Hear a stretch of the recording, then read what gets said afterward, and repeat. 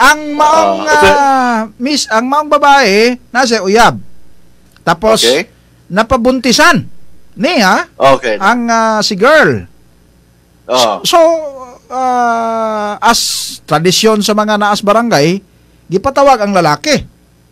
Oh. Pagpatawag sa lalaki, mingon man kuno lalaki nga ay kabalaka mga asawa ko. ah, Oo. tubagon ako ng obligasyon, suportahan ko ng bata Oh. sa pagpatawag. Oh. Karon ah, human niya atong pagpatawag, biabot ang pila ka bulan, nanganak si mi- Miss ang babae. Oh, ang babae. Pag umagpanganak, mi aksyon naman og distansya ang lalaki attorney, di naman magpakasal, daghan na mag-istorya nga di kuno na iyang anak. Ah, Ah, salain kuno. Unya human naman na siya may Oo. process ay may promise sa ginikanan nga iyang tubagon. Unsa man kuno Okay. pamaagi aning legal para mapanubag sa lalaki ang iyang obligasyon. Okay. Kung kasal atong gisgutan, Mm. dili mapugos ang laki magpakasal. Bisan Okay. pag ni-promise na siya na pakaslan niya ang babae. Mm. Naiterm Ingon pas balaod, ingon pa sa ingon pa sa ingon pas balaod kasama Ramel, breach of promise to marry is not an actionable wrong. Okay, ato na It may be wrong. Breach of promise to marry is not an actionable wrong.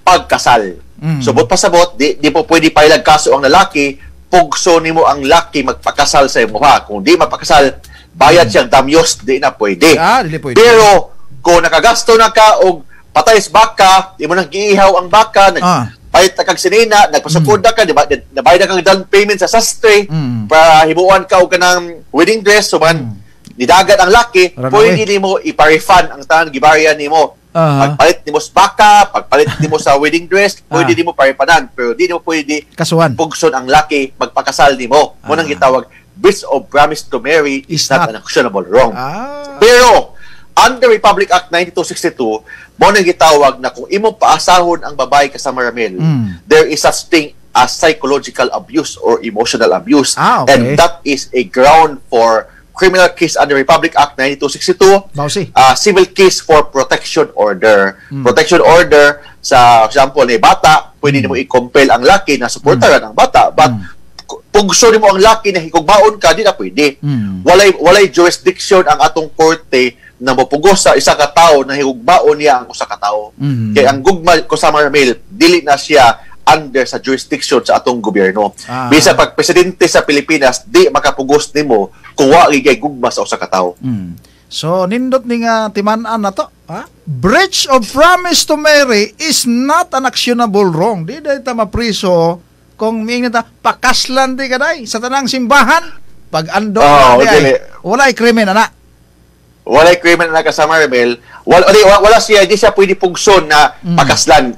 Mm. Dili pwede na minun ang korte na. Di pwede, di promise na ka, kailangan nimo pakaslan Mm. mabahay, di na pwede. Kay breach of promise to marry is, is not an actionable wrong. Pero, kung imong gipaasa ang babae, Mm. nasakitan ang babae, Mm. ang naghilak-hilak, emotionally, psychologically, uh, mo na siya ay- pwede siya mapailag kaso og psychological abuse Mm. o emotional abuse. Mm. Pero di siya pwede pugson na pakaslan niya ang babae. Oo. Pero ah, pag ah, gipanabi na siya nga kuan pasakitan na, pwede na mukaso ang babae against sa lalaki. Ang oh, pasak ipasakitan man kita psychological abuse, emotional abuse. Mm. Okay. So, at least klaro no, ma'am, sir. Uh, I'm sure naminaw sila karong buntaga. Mo, mo to sakto to tong uh, giingon. Ang ah, pwede man kasuhan ang ah, lalaki ah, sa maong pagpasakit niya.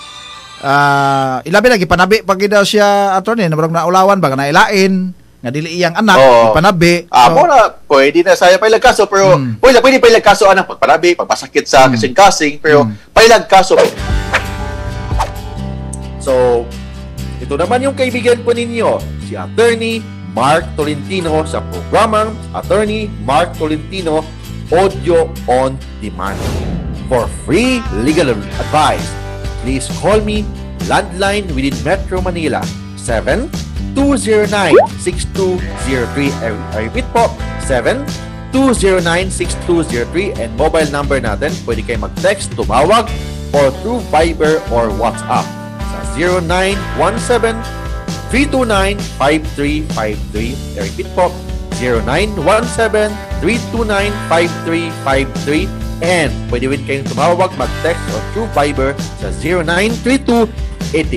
0932-8856-203. And please follow me sa Facebook page po natin sa facebook.com slash Mark Tolentino Law and sa YouTube page po natin sa youtube.com slash Mark Tolentino Law Blog. Thank you po for following me and please support all my videos and vlogs.